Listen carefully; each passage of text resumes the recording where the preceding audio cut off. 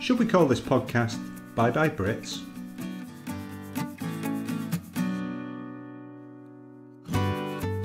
Welcome to the fourth episode of our second series of the Valencia Property Podcast.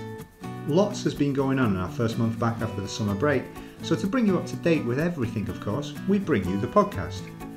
We're going to have a look at each post we've written uh, in the last month or so, and also we'll have two main parts to the podcast this week. Firstly, about the effects of the incompetence running the UK in a section we call Bye Bye Brits, and then a look at how inflation is working in supermarkets in Spain and the day to day costs of living here. Firstly, though, let's look at what we've published on the blog in the last month to bring you up to date if you haven't been following. We started the month with our autumn report on the market. For those of you who haven't read it, the market remains solid and prices continue to rise slowly. Interest rates are starting to rise on mortgages though, and that may slow down the market, especially if banks start making lending criteria stricter. Currently, they haven't. We then moved on to answering more of your questions, just like we do here on the podcast.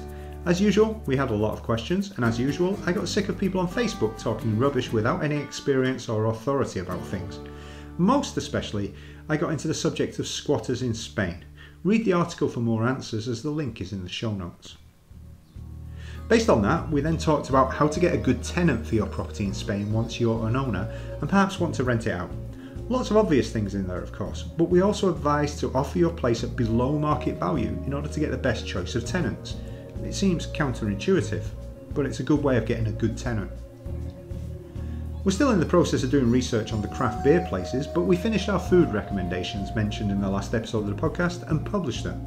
So go to the notes at the end of the pod and click on that and all of the other articles.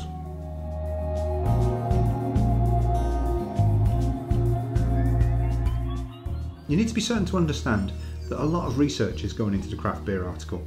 Funnily enough, we've had plenty of offers to help with the research from our clients too.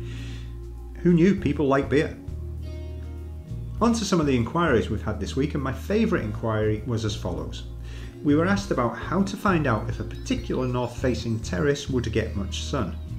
We recommended the app Shadow Map, where you can put in the address and find out lots more about when the sunshine will be directly on the terrace and at what times of year.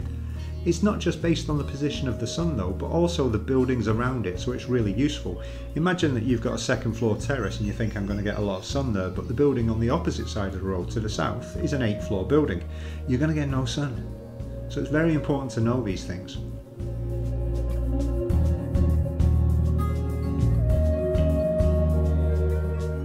Our main part of the podcast this week is Do we have to say bye bye to the Brits? I suspect there'll be a few casualties of the total clusterfuck, let's call it that, and lose our ability to broadcast in India. That is the British government and their total lack of competency. Well, I say that, but maybe they are highly competent when it comes out that they were doing a favour for their hedge fund mates by crashing the pound and making Crispin Odey billions by telling him what they were going to do a few days before. Insider trading, anyone? Apparently, I can't say that, but it's been said. My feeling is they knew they cannot win the next election, so they're going for a scorched earth policy to leave any incoming government hamstrung by the debts they pass on, and an economic situation so dire so that five years will be nowhere near enough time to sort out the fiasco. When the IMF and Moody's are telling you to tone down the neoliberalism, then you've gone much too far. Now, I was writing this on Wednesday, the 28th of September, and the BOE had just stepped in, the Bank of England had just stepped in. The intervention has managed to bring back some of the losses, but at the expense of the interest rate rises and the UK having a for sale sign placed on it. Oh, and the small matter of £65 billion.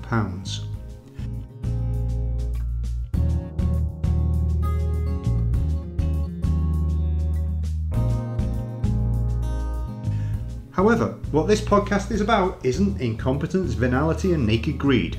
It's about Valencia property, and by extension, Spanish property and life. What does this mean for both Brits in Spain and for those wanting to come to Spain? Firstly, for those wanting to come here, your government's spooking of the markets meant a few things. Number one, your purchase just got around 10% more expensive compared to last week, but the Bank of England intervention helped you to claw back some of your spending power. The pound buying fewer dollars and fewer euros isn't going to help anyone. Two, Your living costs here just went up if you're still earning pounds. Again, a rough 10% increase, now about 5%. But when you add that to the 10% inflation rate, it means your life earning in pounds is devaluing rapidly. Thirdly, those living here earning money in pounds or fixed incomes, such as UK pensions, were just given a kick in the unmentionables for the foreseeable future. And four, and this is the big one, I suspect the British market for Spanish property has just been wiped out for now. Brexit brought the pound down from 127 to around 116, and this was the first big kick to Brits wanting to live abroad. This could well be, as we say in Spain, the estocada. That's when the matador finishes off the bull. The bulls are the Brits, already bleeding from so many wounds thanks to 12 years of scandalously inept Tory government, and this is the final knife in the back of the neck. Yes, the party of business.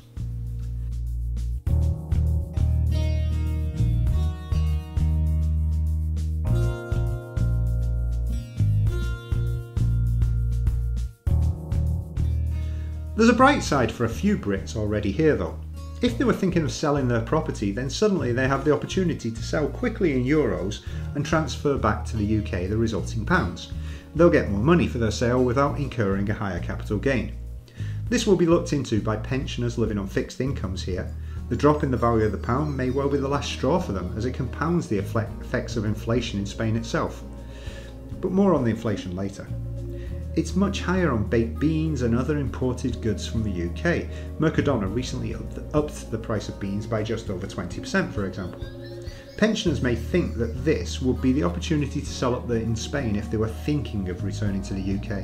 Although, why anyone would want to be a, returning to the UK at the moment, it's absolutely beyond my limited understanding of this world. This will affect the market on the Costas, of course, much more than here in Valencia, as there are many more UK pensioners living there on fixed incomes. Any British digital nomads living and working in Valencia might want to ask to be paid in euros and dollars rather than pounds if the run on the pound continues in order to protect their income as they're actually living here in Spain.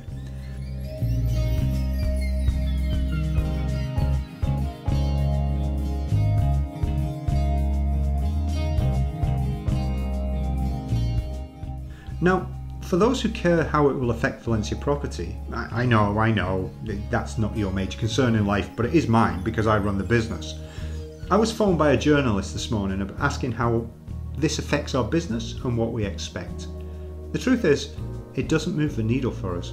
Last year, our biggest market was the USA, and we're much more affected by the strength of the dollar, meaning more American clients.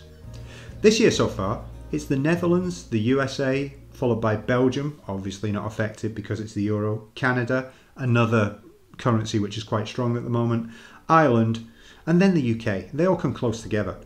Back in the day, our main market was essentially British, and the decision to focus on other markets, especially the North American one after the financial crisis of 2008, and then even more so after Brexit, has paid off. It's paid off quite well, I have to say. I was also asked the question about the future for British buyers in Spain. Let's have a little history lesson and go over those changes in the exchange rate over the years.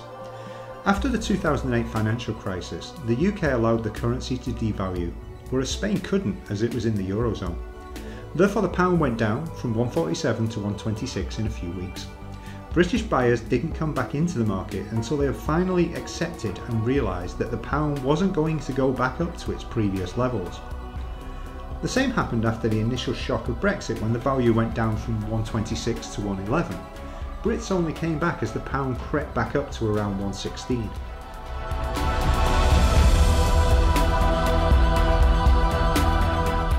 Now last week it was back down to 110, 111, it even hit 108 in the middle of the night on Japanese markets, before the Bank of England stepped in. And it'll be interesting to see if the pound recovers somewhat once the BOE stimulus wears off, to give Brits the chance to pay a bit less for their Spanish property. I suspect it won't. However, the BOE having to raise interest rates in the UK to stop the economy collapsing and to protect pension funds from going bust, people's everyday costs will be going up even more, and the housing market looks like it's suddenly in extreme problems in the UK due to the fallout from Kwame Kazi's budget. Yes, it's Kwame Kazi. Today, it's been reported that the average mortgage rate offer in the UK is 6.09%, and that's up from 2.25% a year ago. Those who wanted to sell their properties to buy in Spain will firstly they'll get less money for their sale. Secondly, they might not even be able to sell because they won't find as many buyers willing to pay those interest rates on mortgages. And even if they do sell, they'll find that that money buys fewer euros when you want to buy here. It's a double whammy. Well done, Tories. Well done. You ended free movement for your own people, and now you're making sure that anyone who still wanted to leave can't afford to do it now. Once more, well done to the Tory party.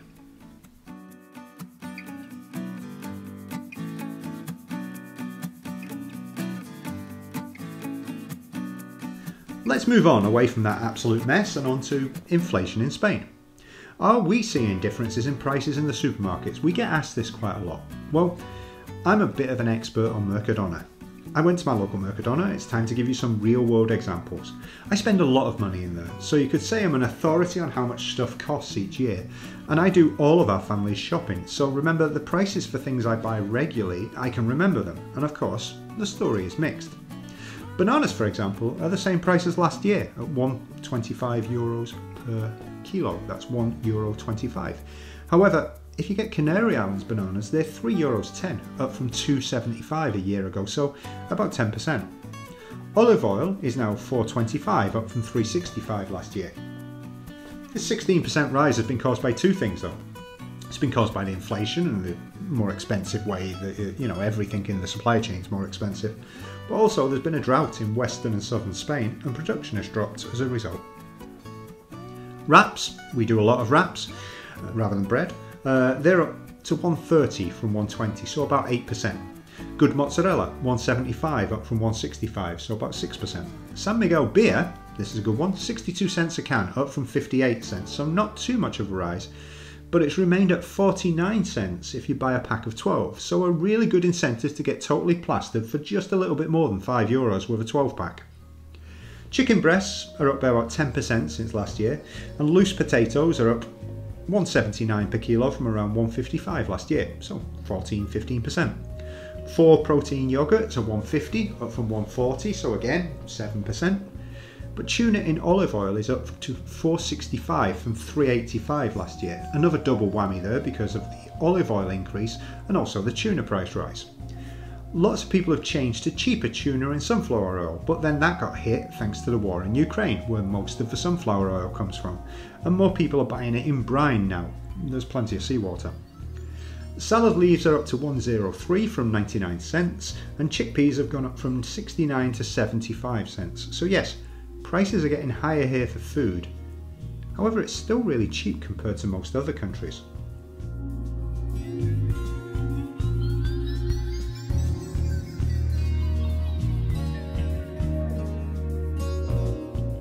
In terms of energy, electricity is up around 20%, which is partially offset by the government reducing the VAT on energy from 21 to 5%. Imagine you could do that in the European Union, eh? Some people in the UK would have you believe you couldn't. Gas is up a similar amount and petrol is up by about 40% in the last year. But again, the government is slightly offsetting that as they currently pay 20 cents on every litre for you. So what you see in the garage, it may say 169 for a litre of petrol. It's actually 149 uh, when you actually come to pay.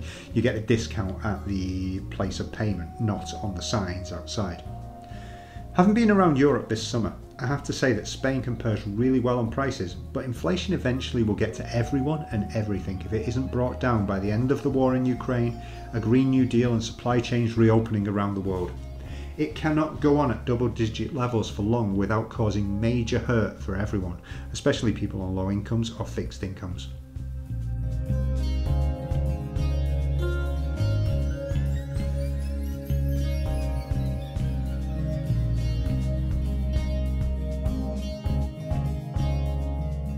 So that's it. It's just a bit of a lifestyle thing this week. It's telling you about what's happening in the market, it's telling you about what's happening as regards prices and stuff. But we do have our recommendations to finish off. And our recommendations this week are for the property of the week, the video of the week, and the article of the week. The property of the week is a full house in Cabanyal. Now, the Cabanyal, as you will know, is down by the beach in Valencia, and we've got unusually a full house there. Most of the houses are now divided into a ground floor flat and a first floor flat. This is a full house, and therefore, when it comes onto the market like this, there's lots of interest. Take a look at the link, see whether you're interested in it. The video this week, well, we have two actually. One we took in the newly modernised Plaza de la Reina in central Valencia. The square has a totally different feel now there is no traffic. Take a look, see what you think. The second is a longer one. It's a Valencia travel guide from the Attache channel on YouTube, where the channel owner fell in love with the city and therefore came back two weeks later in order to make a video. The article of the week, well, it's all of our recent articles. So the link in the show notes is just to the blog. Yeah, have a look at the last six articles because they've all been written since the summer hiatus. But now it's time for another hiatus. This time until the next podcast next month. Meanwhile, keep popping back onto the blog where there will be weekly posts, onto the property pages where we update daily, and follow me on Twitter at GreyHunt to see me swearing, abusing politicians, and sharing lovely Valencia content for you. Remember one last thing before we go. Get in touch with us whenever you can, in whatever way. Ask us questions, ask for information, and when you're coming over, let us know, and we'll find you your perfect Valencia property. Thanks a lot, and until next time, it's goodbye. The music this week is by Kevin MacLeod. And everything else is done by me, Graham, in my studio in my living room in Valencia.